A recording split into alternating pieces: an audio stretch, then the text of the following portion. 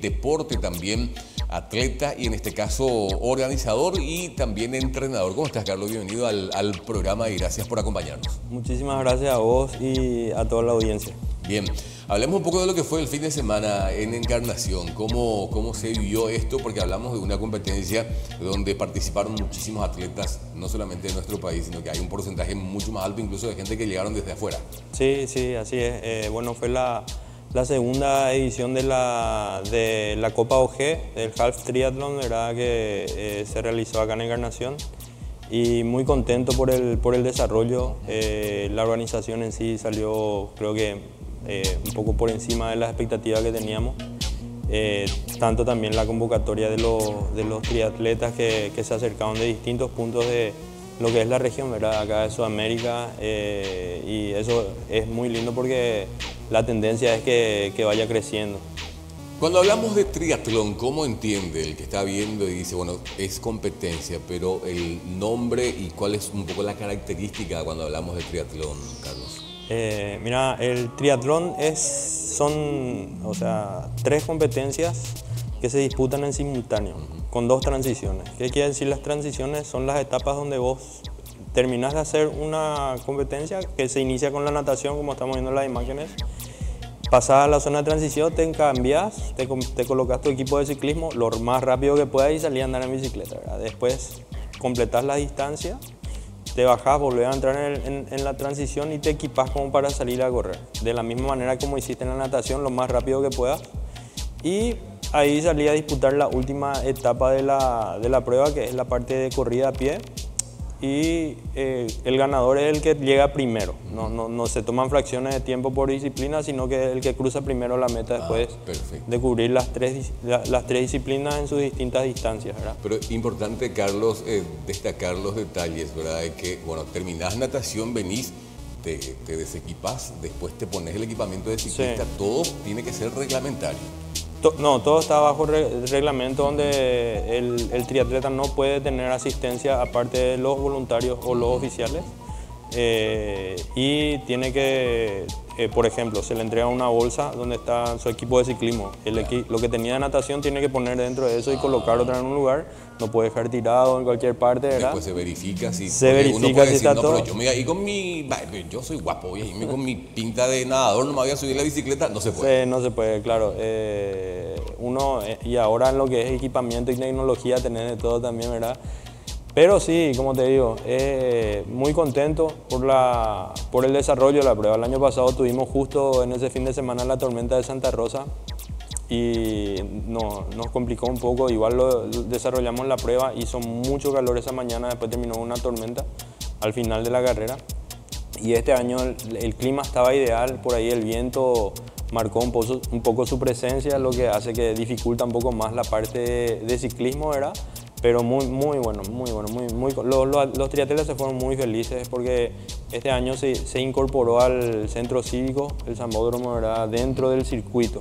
Eh, los participantes pasaban en bicicleta por dentro del Zambódromo, la llegada estaba dentro del Zambódromo. Eh, no podría, no, no, podemos estar en Encarnación y no tener la batucada, era una fiesta total y bueno, eh, mucho valor agregado a lo que por ahí uno se va a esperar en una carrera que es solamente cubrir eh, la competencia, ¿verdad? Carlos, eh, decíamos recién y ponderábamos un poco, en las colonias estamos teniendo campeonato de básquetbol a nivel nacional. Sí. Itapúa se está preparando para el rally mundial, hemos tenido competencia de remo, ahora el triatlón. Qué lindo que Itapúa y Encarnación principalmente sea hoy tenido como referencia para las diferentes modalidades deportivas, en este caso el triatlón también, y lo que me estabas mencionando antes de arrancar, de más de 200 participantes, un porcentaje altísimo de, de participantes de afuera. Así es, eh, tuvimos mayor cantidad de argentinos, en segundo lugar estaba la, la, delegación de Brasil, había venezolanos, había un alemán también y después teníamos, o sea, dentro de los que participaron, acá en frontera la gente de Posadas, pero así teníamos gente de eh, Córdoba, de Santiago del Estero, Buenos Aires, Entre Ríos, muchísima gente de Entre Ríos, ¿verdad? De Brasil vinieron no de acá de Foz, sino que de Santos, Brasil. Una cuestión de Oscar que vivió mucho tiempo por, por Brasil, él le tendió la invitación a sus amigos y ellos vinieron y descubrieron acá, se quedaron maravillados por lo que es Encarnación. Generalmente esa gente tiene más como referencia Ciudad del Este, el comercio fronterizo, ¿verdad? Pero vinieron acá y encontraron algo que ellos no, no, no, no se imaginaban, ¿verdad?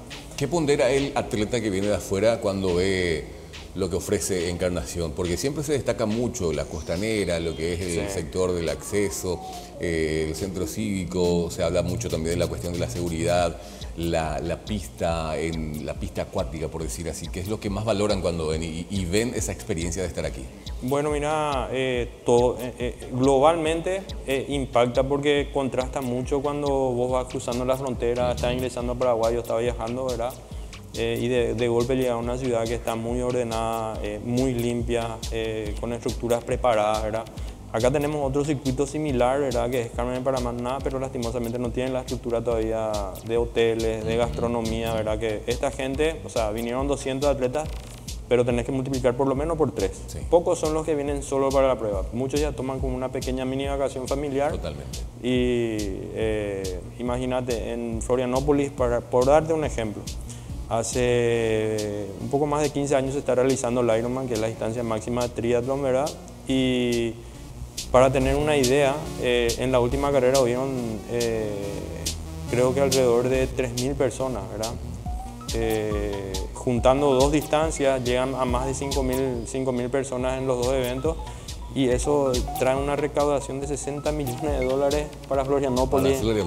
porque eh, la gente viaja, o sea, ya tenés que comprar pasajes, reservas y como te digo, eh, la gente aprovecha para ir de vacaciones y creo que eso podría bien replicarse acá en Encarnación porque te cuento un poquitito el organizador principal, el director de la carrera, Oscar Galinde. Él es un, eh, fue atleta olímpico cuando el triatlón debutó en Sydney. Yo justamente le conocí a él en el Mundial de Australia, previo a la Olimpiada de Sydney.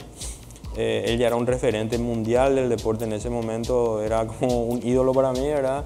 Y me acerqué con él, mira, soy de Paraguay y conversamos ahí un poquitito, ¿verdad? Y esa, eh, eh, nos fuimos encontrando en distintas carreras así, fue creciendo una, una amistad, ¿verdad? Y cuando se realizó lo de Sur, vinimos acá, o sea, yo como te digo, él conocía así Paraguay, pero tenía otra referencia. Cuando viene llega Encarnación, y dijo, pues esto es un estadio para el triatlón, me dijo, como un estadio de fútbol, un estadio para el triatlón, porque tenés toda la estructura armada, ¿verdad? Y eso facilita muchísimo, aparte todo lo que es el, lo, que, lo que Encarnación le ofrece a, a sus turistas, en este caso es como turismo deportivo, ¿verdad? Y eso se va a ver mucho reflejado ahora, yo creo que ese impacto en Encarnación va lo va a poder medir bien con el Mundial de Rally, que se, como vos comentaste anteriormente, que es, va a traer masas ya de un deporte muy desarrollado, ¿verdad? Por ahí el, triatlón es un deporte acá en Paraguay todavía muy pequeño, pero como te digo, el, ejemplo de, Florianópolis, que es, donde tiene mayor auge en, Sudamérica, ¿verdad? En tu caso particular como entrenador ya, eh, ¿qué representa el hacer esa previa, el acompañar el comienzo y, poder llegar a un lunes donde ya pasó esto, ¿cuál es la conclusión que te deja como, como primero como atleta, teniendo en cuenta tu experiencia ya también y hoy ya como organizador y entrenador, lo que, lo que, lo que deja esto como resultado para ustedes? Bueno, mira, eh, ahora eh, como, como corredor es la expectativa de poder estar en un evento así, llegar a tu mejor forma física para, o tu mejor potencial, ¿verdad? Pero muchas veces el deporte es ingrato. Uno puede llegar en su mejor momento y tener, como le pasó a un muchacho, eh, pinchó la rueda, ¿verdad? Eh, son cosas así, o te, te ingripaste el día previo, o tuviste problemas en el viaje. Hubo gente que quedó en la frontera porque se olvidó el documento. Imagínate, cinco corredores que venían de, de Argentina. Eh, como venían en un grupo, no, no pudo pasar una, tuvo que volver, ¿verdad? Y bueno, cosas así que no, no, no lo puedes desarrollar en eh, eh, toda esa preparación como hiciste.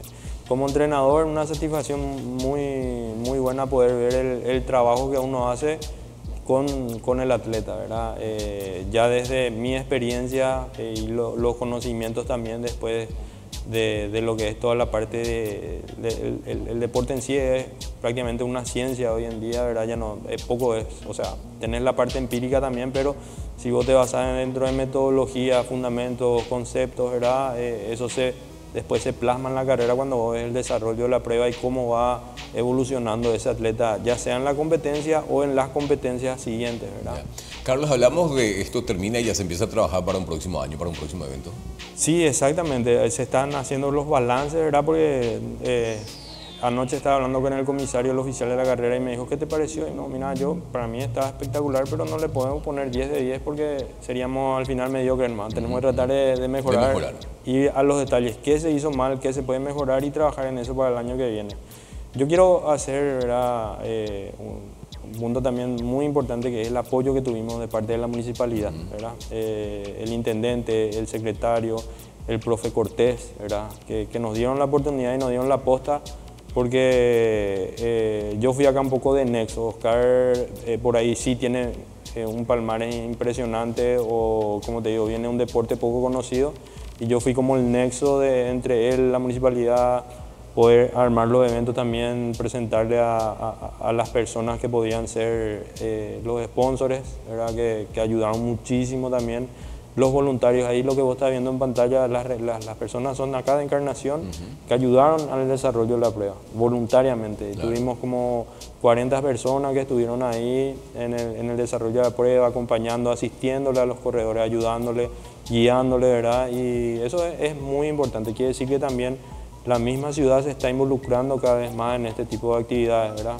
Ya, bien. Eh, Carlos, muchas gracias por la visita y éxitos para lo que se viene y saludar a todo el equipo también que nos viene acompañando y, desde luego que esto siga creciendo cada año. Gracias por la visita, Carlos. Muchísimas gracias a vos. Eh, esperemos que oportunamente nos estaremos encontrando otra vez en, alguna competencia o el año que viene otra vez en este evento.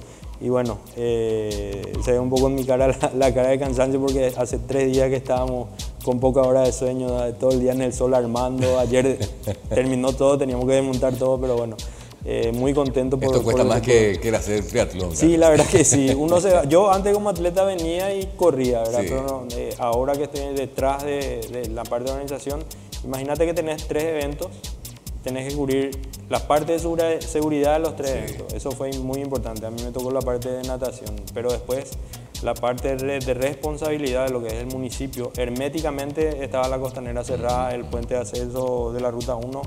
Eh, eso es muy importante porque bloqueas una ciudad durante siete horas, un, pedazo muy importante de la, de la, ciudad.